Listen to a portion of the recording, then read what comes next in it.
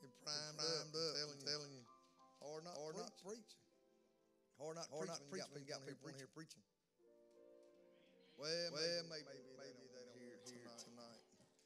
Hey, but, hey, uh, but uh, I'm excited, I'm excited about, what God's doing. I'm already hearing, I'm already hearing testimonies, testimonies coming about, about uh, during this uh, time, this time of prayer and fasting. And, fasting. and, and I hope, and I hope you're having, you're having an encounter with God.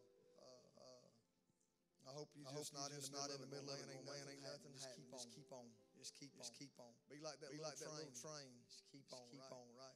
Be a little, little train. Train. Just keep on tugging along. But tonight, but tonight I want to talk about unity uh, in prayer and fasting. We're going to be in Acts tonight. Tonight. Uh, for just a, for just one, brief, one brief uh, scripture, there, Acts, chapter two. I didn't give I didn't you anything, give anything Tabitha, I'm sorry. I really wasn't, I really even thinking, even thinking at the moment.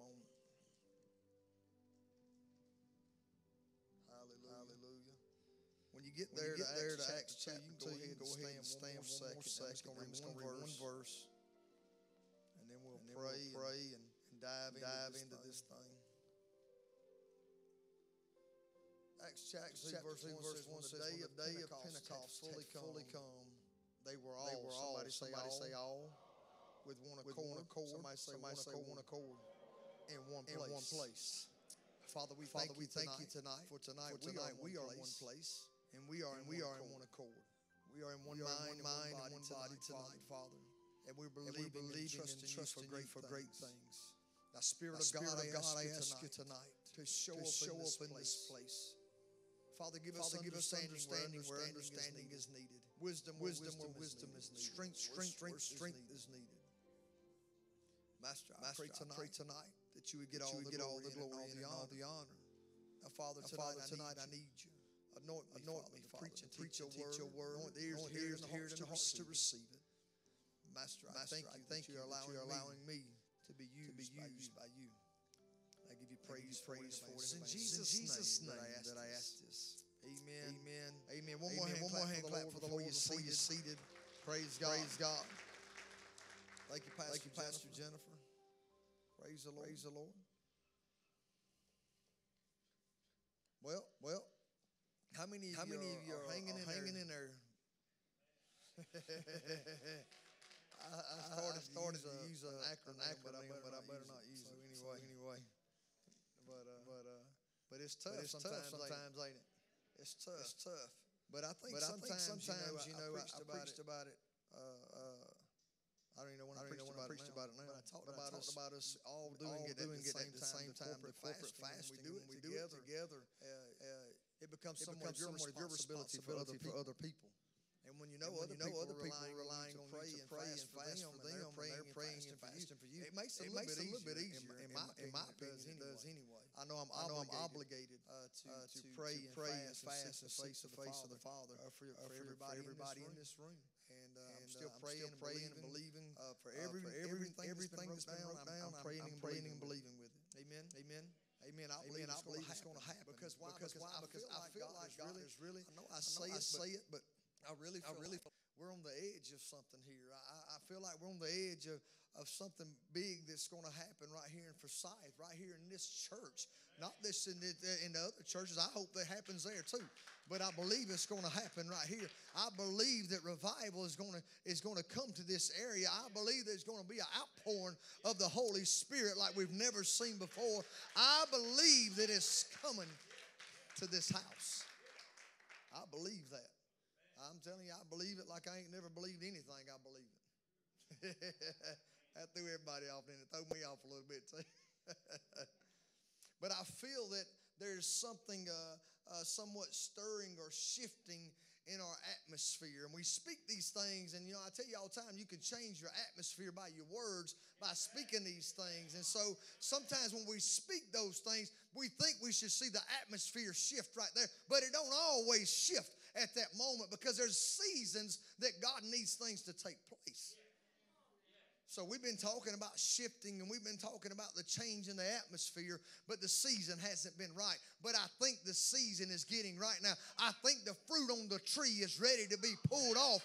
Ah, uh, I'll see before it was just seedlings and saplings coming up out the ground, but the trees have sprouted up. And as they have sprouted up, the fruit is ready to be picked. I believe the harvest is ready in this town. I believe it's ready.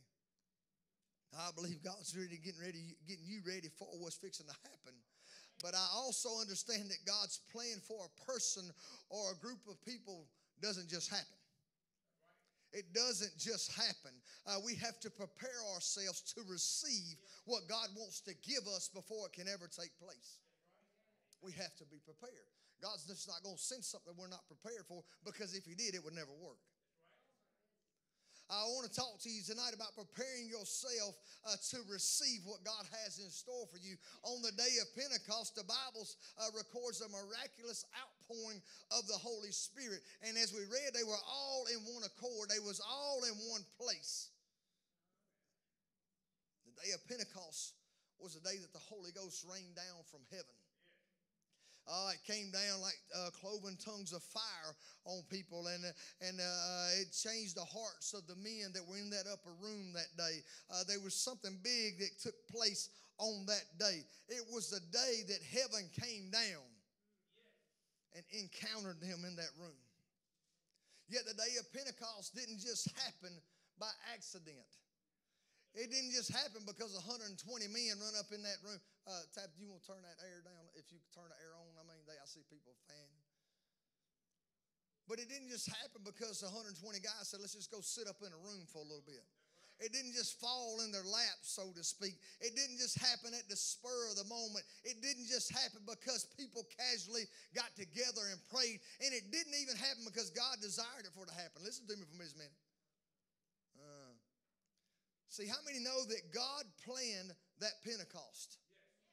He planned it to happen. Uh, he knew it was going to come. It had been prophesied uh, 400 years before uh, by the prophet Joel. It had been planned out in the man, uh, mind of God since the beginning of time. He knew that it was going to happen. It was his plan, it was his will. The reason God chose to fill 120 believers with the Holy Ghost and give salvation to 3,000 more on the same day was because the group of people who had prepared themselves for that day. See, we are preparing ourselves right now through prayer and fasting for what God's fixing to do. We are preparing ourselves to say, Father, we are ready to receive whatever you want to send our way. We have to prepare ourselves to do it. We don't just come in and throw food down on the table, we prepare the table for the food that's about to be given. We have to prepare some things. See, it's still the plan of God, though, to what? Save souls today. It's still in His plan today to uh, give the Holy Spirit to those that would have it. It's His plan and it has not changed. He still plans on saving people. He still plans on uh, baptizing people in water, baptizing them with the Holy Ghost. He still plans on people to be healed and set free from the bondages and addictions and the strongholds that this world has on. It's still in His plan. Bible says in 2 Peter 3 9, it says, The Lord is not slack concerning his promise, as some men count slackness, but is long suffering uh, to us. We're not willing that any should perish, but all should come to repentance. He wants everybody. Now, this revival we'll be doing next week is a revival for that church down there, for that area. But revival is for seeing souls coming to the kingdom. Yeah.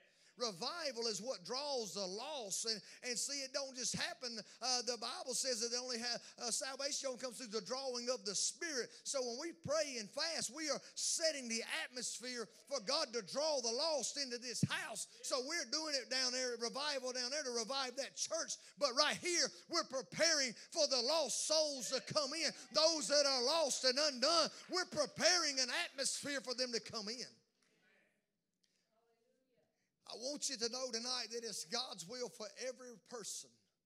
Now, you may got somebody you, you really don't like. I'm not going to use the word hate, but you might have somebody you really don't like. But did you know it's still God's plan for that person to be saved? I don't care. You say, Pastor, you don't know what they done to me. It don't matter what they done. It don't matter what they've done to you. They, God's plan is still for them to receive the same gift that you receive, and that's the gift of salvation.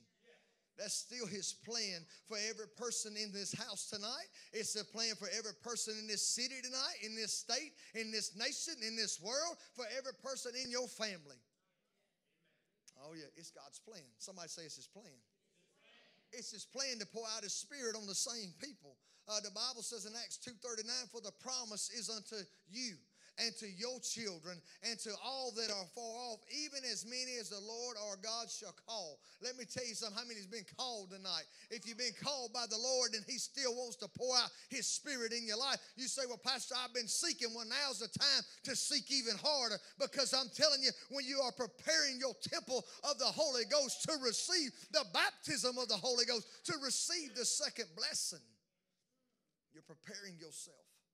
So, right now, I'm just going to go ahead and throw it out there. If you say, I have not received the baptism of the Holy Ghost, during these next 14 days, you need to be praying for it. And I'm not saying, God, at the end of 14 days, give me the Holy I, God, give it to me tonight. God, give it to me tomorrow in the shower. Give it to me when I'm riding down the road. God, give it to me. I desire it. Look, when you start desiring the things of the Father, He's going to give it to you. He's going to give it to you. He said he'll give us our heart's desire as long as it lines up with his. The promise was for everybody then and it's for everybody now. God is ready and waiting to pour out his spirit on Abundant Life Church Forsyth. And I believe it tonight that it's not only for church people, but it's the people that haven't walked in yet. But I believe there's going to be a time, and I believe it's coming soon, that we're going to see an influxuation of people. I believe it. I believe it. I don't want to be negative, but God sometimes waits to pour His Spirit out. As I said, He has to prepare us. Uh, I don't want it to sound like we have to work to receive salvation. Don't understand me? And we don't have to work to receive the Holy Ghost. That's what He wants to do. And that's not what I'm trying to say. There is nothing that we can do that will make us ever worthy of receiving His Spirit. There's nothing we can do. So don't try to work yourself into it. Don't try to negotiate with them. We ain't worthy anyway. That's why it's a gift. Titus 3 5 says that not by works of righteousness we have done, but according to his mercy he saved us by the washing of regeneration and the renewing of the Holy Ghost. It is only by His mercy and His grace that we are saved today. There's no other reason. It's by His mercy and His grace. It's not difficult for God to save someone, it's not difficult for God to fill somebody with the Holy Ghost. He can do it right now, even while I'm preaching. He can slay you in the Spirit. God can fill every person who needs the Holy Ghost today all 120 that were in that upper room received the Holy Ghost. All 3,000, the Bible says, gave their life to the Lord. They received salvation. They were saved and filled because of God's mercy and grace. And we can't do anything to purchase our salvation, it is a gift, it's a free gift. Having said that, God doesn't just stand on the street corner, though, and just give it out to everybody. Understand what I'm saying here? He don't just give it by to the passerbys. They gotta, they gotta they got to want something. There has to be a desire. There, there has to be a change that they're desiring. Hey, just people don't walk down the street and God says, You're saved, you're saved, you're saved. Now, if somebody's standing on the street corner preaching salvation and they come by, then God can save them and draw them. And we know that. But what I'm trying to say is there's a preparation that takes place. He says that the men have to be drawn by the Spirit of God. When they're drawn by the Spirit of God, He's preparing them to receive. Receive salvation. Understand. Every time we see a, a, move of the Holy Spirit, an outpouring of His Spirit in the Bible, there were always a group of believers who had submitted their will, submitted their will to God's will. The 120 had submitted their plans to God's plans. They laid aside everything that was on their agenda for however how many days that they thought it was going to take. We know that about 300 more left before it happened. They weren't willing to submit to God's plan. They wanted to stay on their time frame and their plan. And as soon as they received the Holy Ghost, they began to share what they had received. That's why they went out into the streets. That's why 3,000 got saved on that day. There was a preparation that that had already took place. See, somebody needs to be ready to share what you have. The problem is we become selfish we become Christians and we become selfish with what God's given us. Ah, you know, we read in Acts where they, they took everything and they, they shared it amongst everybody. Ah, we get a little bit of money in our pocket and one of our brothers needs something and we won't even share with them. But we forget that the last month we didn't have no money in our pocket and somebody shared with us. We've got to be a, a, sharing group of people. Let me tell you what it does when we bring, uh, when we start sharing, uh, it brings a sense of unity. It brings a sense of family because who's the number? Well, it may not be the number one person you share with most of the time. It's family. It might be the worst people to share with. Now that I think about it, Amen. But there's a sense of unity there when we start trusting in one another, we start believing uh, in one another. And I believe that God has prepared us. I just think He's waiting for some people around here to say, you know what, Father, it ain't my will anymore. It's to be done. And in this time of prayer and fasting, I pray that you would change my heart and my will will become your will because your word says that thy will be done on earth as it is in heaven. That means I've got to remove myself completely out of the picture and I've got to let God's will come right in the middle of it. So the question tonight is, is do your plans line up with God's plans? Mm. Do your plans line up with God's plans? Are we ready to receive what God has planned for us in Forsyth, Georgia? Are we ready for what God has a plan for us in this house right now? Are we ready for it, beloved?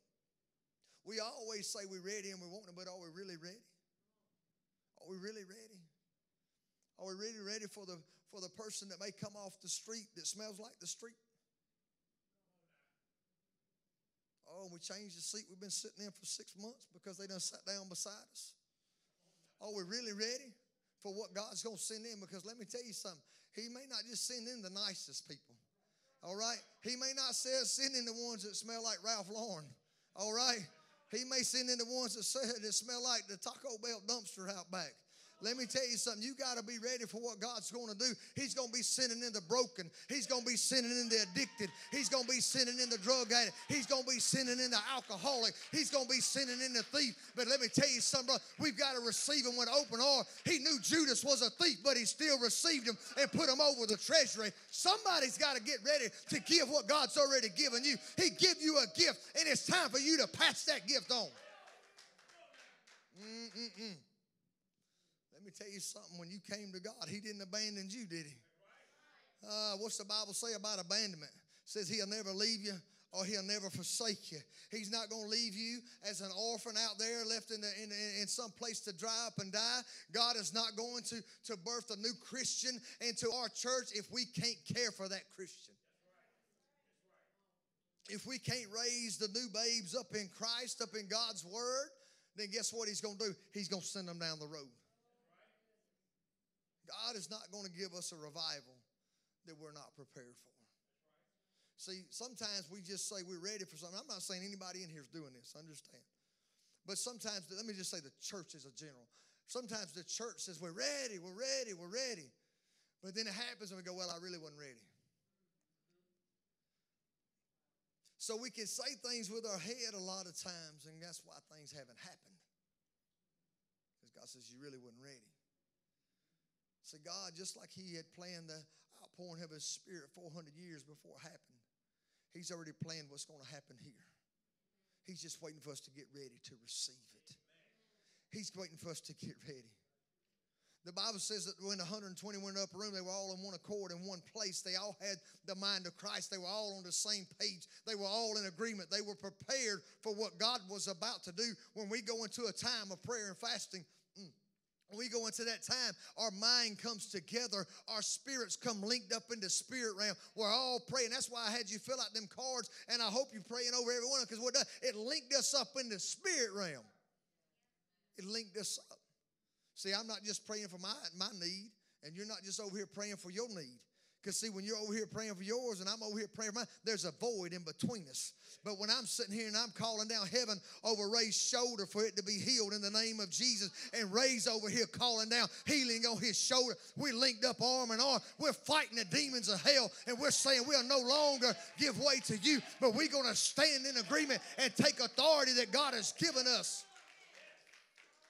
It's when we're doing these things in agreement. So we started uh, this fast on uh, last Thursday, the second. Daniel's fast, and some of you may not have known we was doing it. And some of you may have said, "I ain't gonna do it," and that's fine too. You can be rebellious all you want to, but I'm telling you right now, if you want to see God move in your life, you need to jump on it. You need to jump on it. Now you ain't got but 14 days left. Now don't sit there and say, "Well, if he preaches this next Wednesday, I ain't got but seven days." No, it ain't working like that. now look, I, in all seriousness, you want to see God bless you and move in some areas, you need to do this fast you need to jump on board with us. This is a call to go deeper with God. It's a call to go deeper in our devotion time, in our prayer time, and in our relationship with the Father. Look, I don't want to I, I don't want to know God for 50 years of my life, but never know God. Do you understand what I'm saying? The devil knows him, but he don't have a relationship with him. And he's known him for a lot of years, but he still don't have a relationship with him. This is an opportunity for us to grow closer we're not doing this to prepare God. We are doing this to prepare ourselves. We're not doing this to change God's plans. We're doing this to change our own plans. We're not doing this to ask God to shower our church with a Holy Ghost outpour. We're doing this to show God that we're ready for a Holy Ghost outpour. And just like Sunday and second service, it ain't planned to go that way. But when a group of people get in one mind and in one accord and they say, Father, whatever you want to do, we want to see it happen, then He says, Now now I can do something in that place because it's not their will they won't do, but it's my will that they won't do. And when His will starts to happen, the Spirit of God is poured out in such a way. Oh, I'm telling you. God's got bigger things in store for us than just so happens Sunday morning. God has already promised to pour out His Spirit, and He's doing it. He's given us glimpse of it. It's in His will. Are we doing this to conform our minds and our bodies to God's will? When we fast, that's exactly what we're doing. We're conforming our mind, our body, our spirit to say, Father, no longer me. But I want to do what you want me to do. I want to hear from heaven. I can't even tell you how many people uh, wrote on that list, and you got the list, so you'll know. But they, they say, I want to know what God's will is for me. I need a closer relationship with Jesus. I need to walk deeper with Him. I need to know what my calling is. Let me tell you something. If you're one of those people sitting in here and you're not on this fast, you, that's why you need to jump on it. If you want to hear God's voice, this is a perfect opportunity to hear His voice because you start submitting to Him. Jesus instructed us to pray for his will in Matthew 6, 9, and 10. It said, After this manner, therefore, pray ye, Our Father with art in heaven, hallowed be thy name, thy kingdom come, thy will be done on earth as it is in heaven. When we pray for the will of God to be done in the earth, we are submitting our priorities to God's priorities. It's no longer about us. It's no longer about us. Often we pray and we ask God to answer our needs and our desires. We pray according to our will. When all you can do is pray and say, God, I need this, and I need this, and I need this, and I need this, then you are praying your will and not God's will. So, in other words, when you pray, I'm not saying that I'm some kind of, I got it all down because I don't. But I make sure that when I pray over that list, I pray for everybody and everything. The last person I pray for is myself. He already knows my needs anyway. He already knows what I need. I'm not lacking in anything. God's blessed me. I'm not lacking anything. He already knows my desires. I'm just trying to make my make sure my desires lined up with his desire. Because I know when it happens, there's going to be big things that come out of it. That is not how Jesus instructed us to pay, uh, pray according to our, but he instructed us to pray for God's will to be done. Look at 1 John 5 14 and 15. It says, And this is the confidence that we have in Him. Listen to this right here now. That if we ask anything according to His will, now did you hear that right there? If we ask anything according to His will, He heareth us.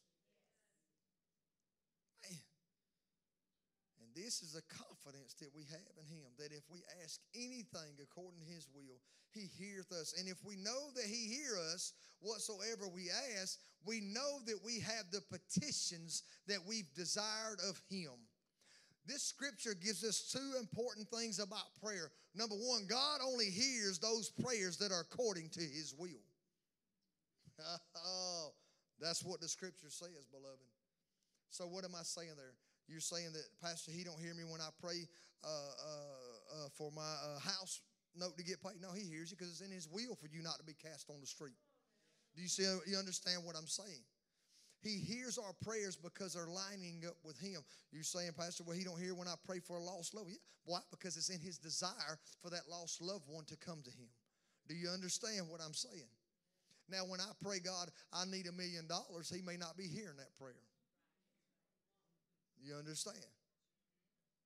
All right. I, lo- I, I thought I lost half of you there. Number two, when we ask according to His will, God will answer. When we ask according to his will, he will answer. That's the faith. When we understand these two things about prayer, our faith becomes strengthened. A moment, uh, a few moments ago, uh, uh, uh let me think how to say this. Uh, a few moments ago, I was in my office and I was praying. And, and I know my voice is still scratchy, understand me, but I had pain in my voice and I've been drinking that drink. But I said, God, you know, I'm not submitting to the drink. You know what I need to do right now. And I need you to strengthen my voice where it doesn't hurt. Because I'm ignorant and hard headed and I can't be quiet and not do it when I get up here. I just have to do it. But just like when Mark talked about uh, the disciples couldn't cast out a demon out of the boy, the disciples came and they asked and said, Why did they fail? What did he say to them? Does anybody know exactly what he says? By prayer and fasting. All right, now look at this right here. Matthew 17, 20, 21 says, And Jesus said unto them, Because of your unbelief, for verily I say unto you, if you have faith as a grain of mustard seed, ye shall say unto this mountain, Remove hence to yonder place, and it shall remove, and nothing shall be impossible unto you. Howbeit. Another word there would be however. This kind goeth not out but by prayer and fasting.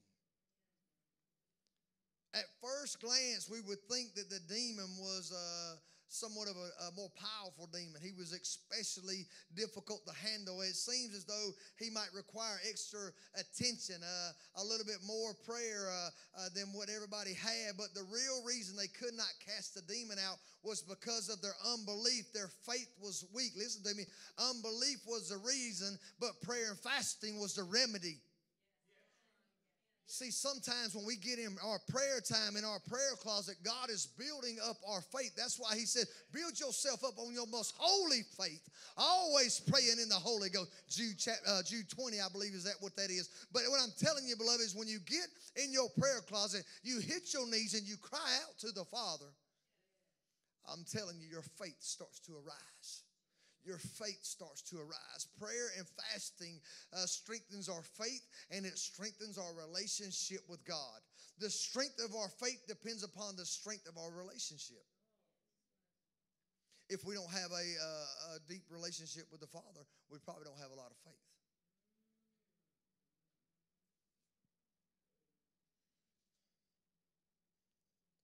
The man said, and if I remember right, he said, Help me, I believe, but help me with my unbelief. How many times have you said, Lord, help me with this right here? I'm struggling with it. And if you could probably go back to that moment and think about it for just a minute, it was probably a time when you wasn't seeking God like you may have normally had. So, what am I saying there? I'm saying that in that time that you wasn't having that deep relationship with Him, your faith wasn't where it needed to be. In the story, the disciples had not been practicing a consistent life of prayer and fasting. Therefore, the relationship with God was weak. They followed Jesus, they saw what Jesus did, but they didn't do everything Jesus did. In the moment when they needed to draw great faith with their relationship or from the relationship with God, they could only draw little faith. The reason the reason that we go into an extended time of prayer and fasting is so that we can strengthen our relationship with God and thereby grow our faith at the same time. See, prayer and fasting changes you. That's why some people don't participate in it. It reveals things about you.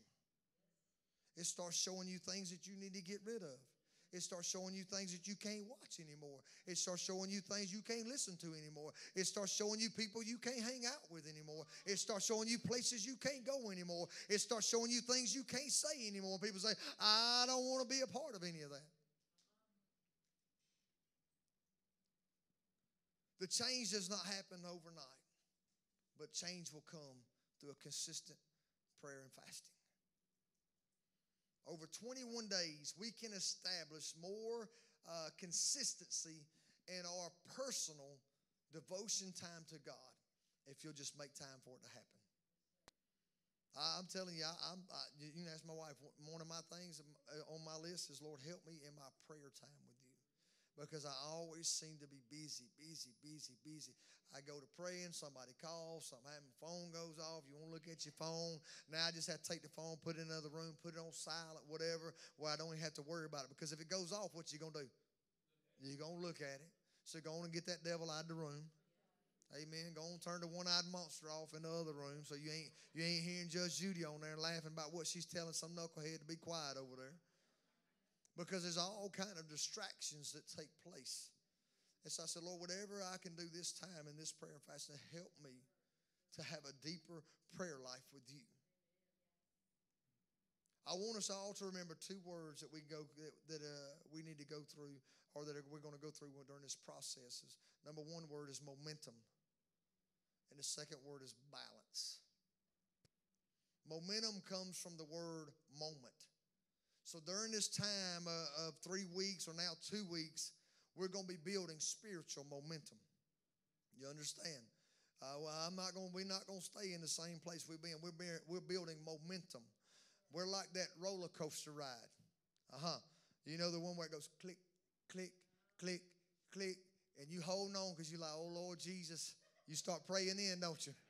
Oh Lord Jesus, don't let this be the time this thing malfunctions. If it starts going backwards, I don't know what I'm going to do, but it's click, click, click. And then all at once, when it goes over the top, you start feeling that force. It's building momentum to take you somewhere. And that's what we're doing. We're building spiritual momentum. We're building uh, momentum towards a moment in time, a moment in God's time that He's already established for this time. We're building the momentum to get there for what He wants to do in Monroe County. Most people live for the big moments in their life.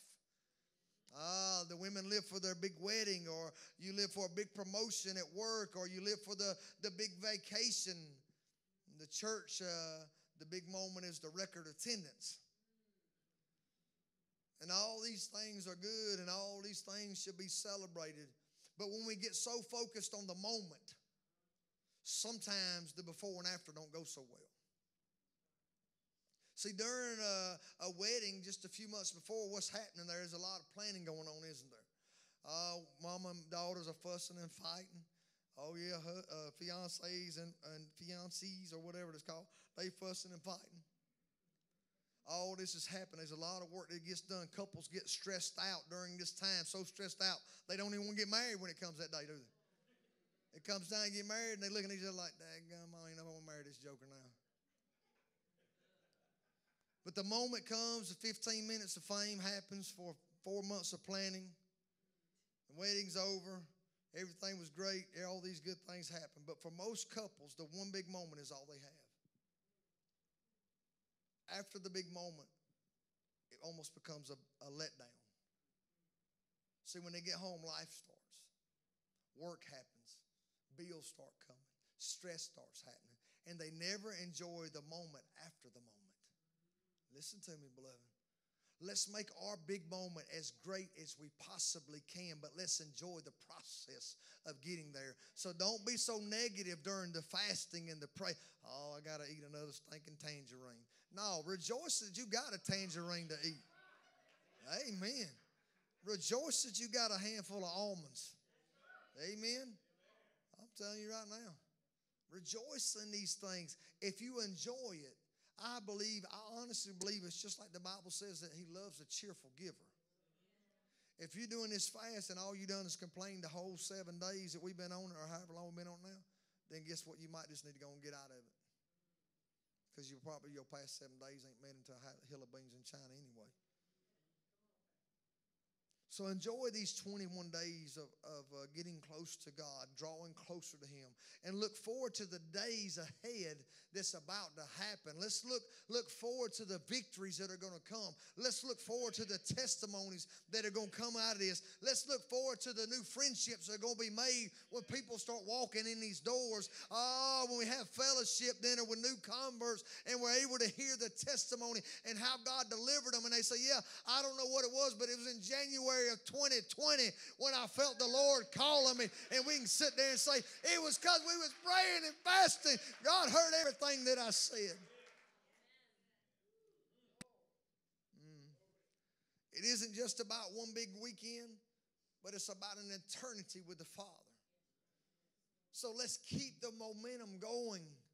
What happens is just like that roller coaster, it gets all that speed when it comes down. But most roller coasters hit another hill, don't they? and they lose the momentum that they had. They slow back down. Beloved, we got to be able to keep running. Just as fast as we got the momentum going, we got to keep on running. We can't let these things happen. But that's where the second word comes in about balance. Somebody say balance. What good does it do if you finally get that promotion you've been wanting? If you had to sacrifice your marriage to get it? What good does it do it as a church if we win a hundred souls to the Lord, but we lose our own family in the process? We got to stay balanced with things. The Bible tells us how to be balanced. Matthew 6:33, I already said earlier tonight. But seek ye first the kingdom of God and his righteousness, and all these things shall be added unto you. Notice he said, Seek ye. That means you seek God first before anything else. This is how the balance structure works. This is the way your priorities ought to be when it comes to your walk with God. It should always be God first. Your personal relationship with God must come first. You cannot be an example to your family if you don't put God first your immediate family, your spouse, your children. After your relationship with God, then your relationship with your family is second. Listen to me. Spend time with your family both in and out of church. Try your best to get a job that allows you to come to church. God will help you do it. This also means, though, that you must lead your family to Christ. Don't schedule family nights on church night. God's only asking for one night of church and one Sunday. Try your best to schedule things around God's time. Your church is the third most important thing in your life. Mm. I have seen and heard too many people in ministry and too many people that run, from the, uh, run for the Lord and they lose their children in the middle of it because they didn't put their family before the church. They put God, church, and then family. And beloved, you got to make sure you keep that thing in order God, family, church. So during this time of prayer and fasting, make sure you spend time with your family.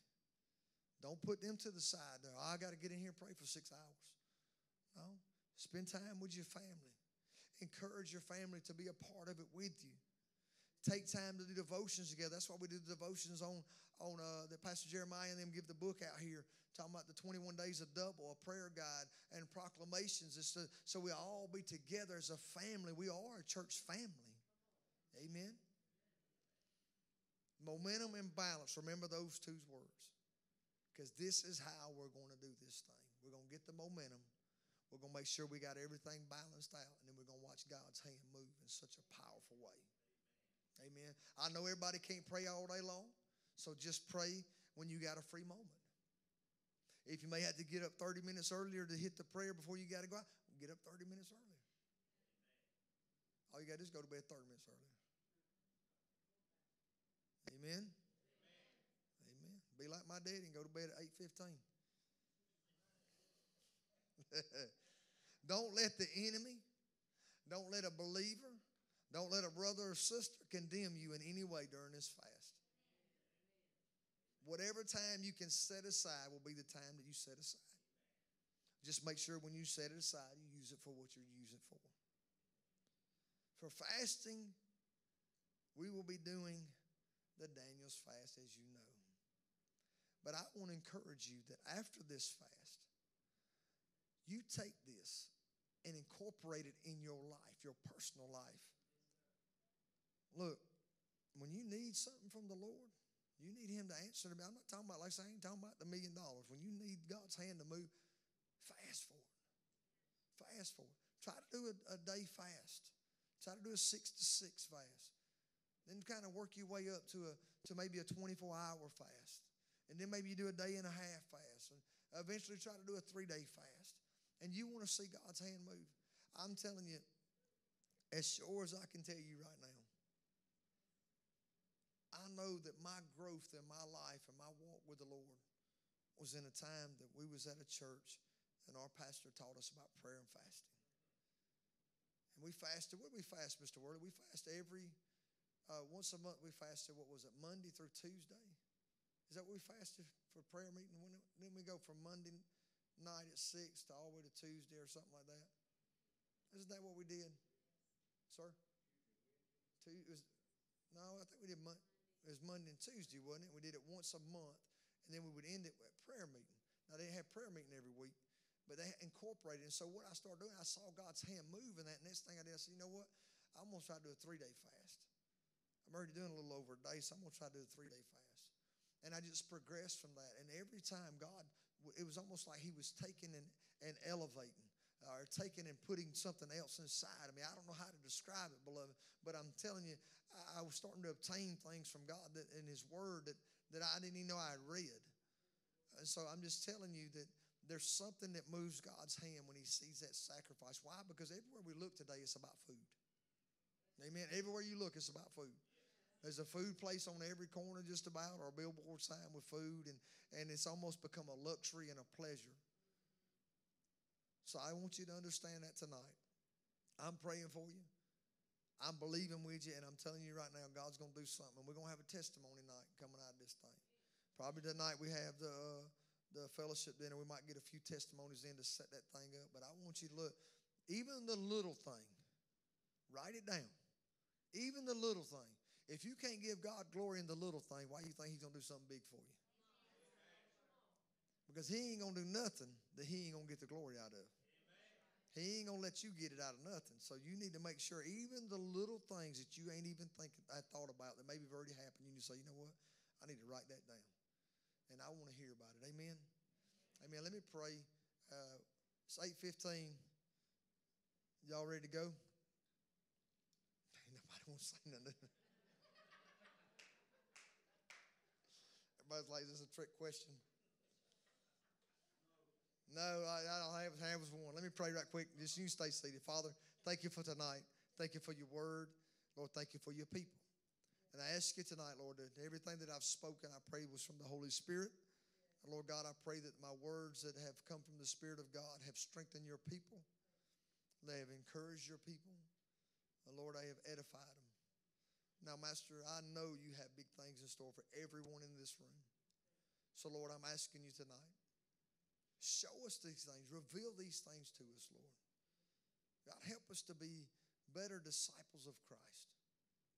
Father, we do everything we do to bring you glory and honor in this house. Lord, we can't wait to see what you're about to do. I thank you for it in Jesus' name. Amen. Amen. Give God one hand clap of praise.